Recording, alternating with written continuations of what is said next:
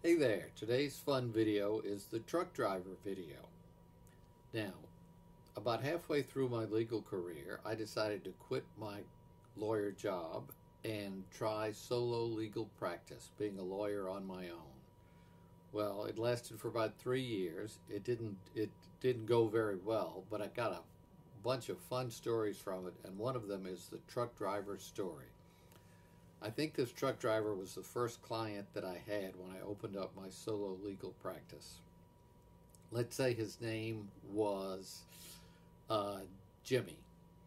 So, Jimmy drove into my office, uh, drove into the parking lot of my office, came up to my office. He was the brother of one of the ladies that I knew from church.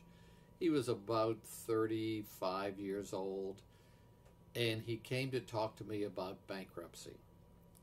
I don't remember the specifics, but when Jimmy and his wife were first married many years before, uh, he had he had made a foolish decision. Maybe he bought very expensive stereo equipment or very, very expensive furniture and didn't make any payments on it, and he owed a bunch of money because he hadn't made any payments in 15 years. So he came to me to talk about bankruptcy. I explained to him everything that I had ever been taught about bankruptcy and uh, he thought and thought and thought, and he called me Mr. Chris. He looked at me and he said, Mr. Chris, I understand what you're saying, but I could go bankrupt a hundred times and I'd still owe these people the money, wouldn't I? I said, Well, Jimmy, uh, I understand what you're saying, and yeah, I think in your mind you would owe them the money. So he asked, he asked me a tough question then. He said, what do you think I ought to do? Well, after my first year in law school, I had worked for a summer in the credit industry, so I knew a little bit about the credit industry. This is the days before uh, personal computers, and uh, there there were computers, and they produced giant books of printouts, wide, wide books of printouts. And uh, I said, Jimmy, uh, let me call the uh, company and see see see what we can do. But I said, before you go, let me ask you, how much can you guarantee me you can pay on this debt every week? He said, I can pay $25 a week. I said, great.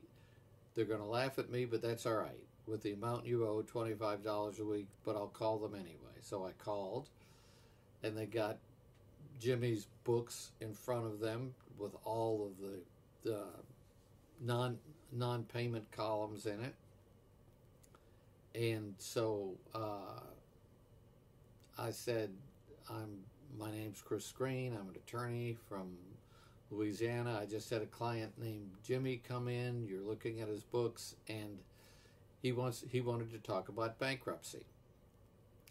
And uh, I said, We would like to make an offer that Jimmy pay you $25 a week on this debt. And of course, the man at the other end laughed. And I was kind of laughing too. I, said, But before you tell me no, recognize this. If he does declare bankruptcy, you're going to get nothing. If he gives you this $25 a week plan, then I guarantee you you will get at least $25 because if he doesn't pay the first $25, I will. So the man laughed again and said, okay, I'll put him on a $25 a week plan.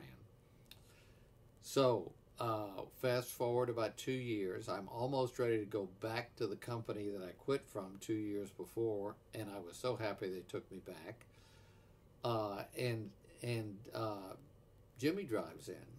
He's very sad. He sits down and says, "Mr. Chris, my wife and I have been talking about this, and I don't think we're getting very far on this debt I've been paying every week for two years. I said, Jimmy, that's that's exactly right.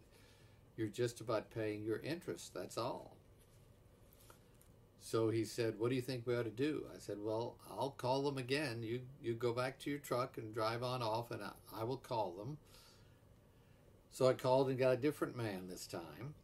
And but I knew what Jimmy's books would look like because these these giant pages were one year each, and he'd be looking at two pages, and every column would be a full payment because he made two years worth of weekly payments of $25.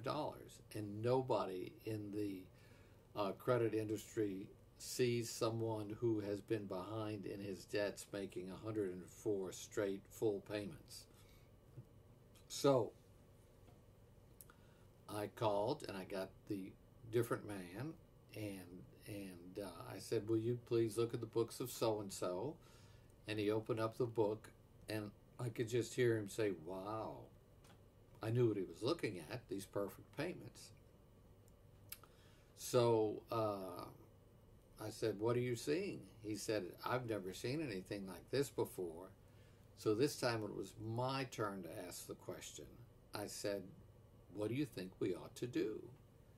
And he just hesitated for, for a minute and he said, I tell you what, I'm just going to write off this whole debt.